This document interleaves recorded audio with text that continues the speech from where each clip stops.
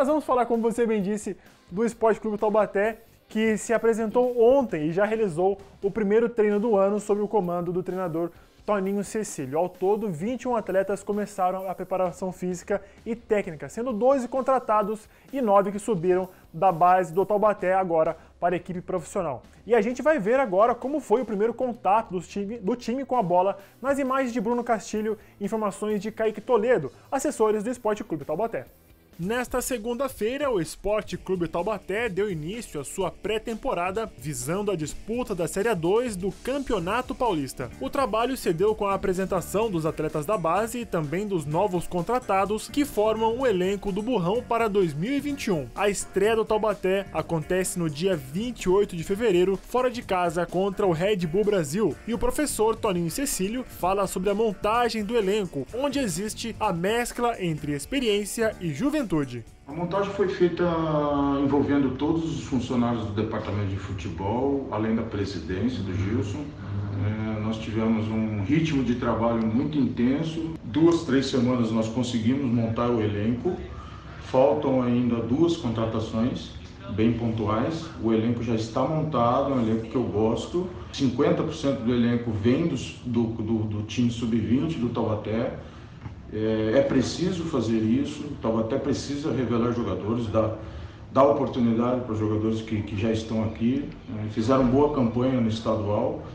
E um outro grupo que foi contratado por mim, pelo Gilson, pelo departamento de futebol, que é um grupo mais experiente, vem dar essa sustentação física, técnica, emocional. De... E quando se fala em condição física e técnica, não importa a idade ou experiência, para disputar a Série 2 e conquistar o acesso à elite do Paulistão, é necessário estar em alto nível. Para preparar o burrão, logo no primeiro dia, Toninho já trabalhou a parte física e também já foca no contato do jogador com a bola. Hoje a pré-temporada é feita já de um trabalho em conjunto, né? Dentro do, dos trabalhos técnicos se atende à parte física, né? Então, um trabalho de campo reduzido, com bola, onde exige muito da parte física e você já ganha em tempo, né?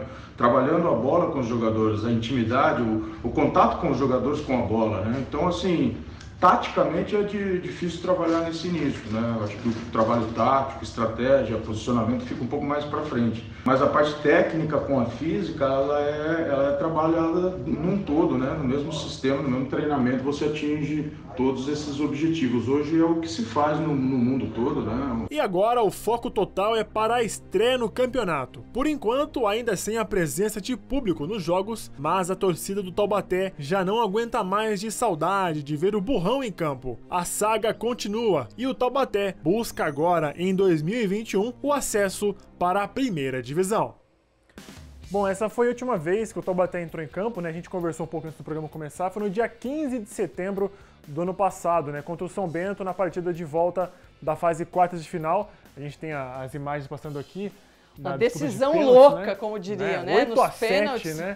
Infelizmente, aí, o, o lance o atacante Quirino, que fez o gol de empate contra uhum. o São Bento, acabou perdendo essa última cobrança, pega na perna do Lucas Macanhã. E essa foi a última vez que o Burrão entrou em campo em 2020. Né? E como a gente viu na matéria, com certeza a torcida está com muita saudade de ver o Burrão em campo. E isso acontece só no dia 28 de fevereiro, tá? Então já já o Burrão vai estar em campo, você pode comprar tudo aqui nos Donos da Bola. É, lembrando que o Taubaté não disputou a Copa Paulista, por isso que o Pedrinho comentou aí Exatamente. que o time entrou em campo pela última vez lá em setembro, no dia 15. E agora vai entrar em campo novamente só no dia 28, a menos que faça algum jogo, é, jogo treino, algum um amistoso, amistoso, mas né? oficialmente mesmo a bola rolou só no dia 15 de Setembro. Setembro. Do ano passado. Fevereiro, setembro.